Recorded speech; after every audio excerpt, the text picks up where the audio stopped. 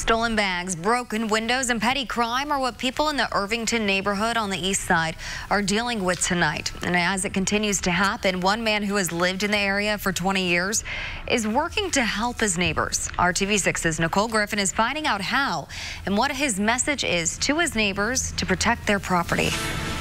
For the second time in just three months, a woman who lives here in the Irvington neighborhood had her car window busted out and her backpack stolen from inside.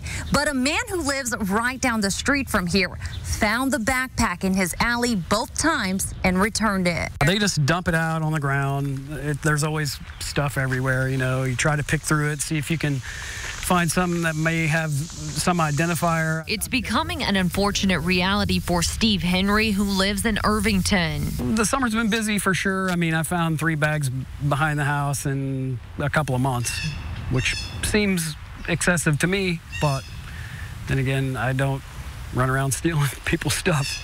Two days ago, he found this backpack with books, paperwork, and even a stethoscope scattered nearby. I actually found this bag a couple of months ago, same bag, same spot in the alley. Um, I woke up in the morning and there was just a giant hole in my window.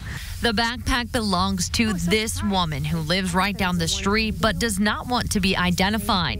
She saw Steve's post on the Irvington Chatter Facebook page saying he found her bag in the alley once again. I'm so glad to see someone post on that Facebook page.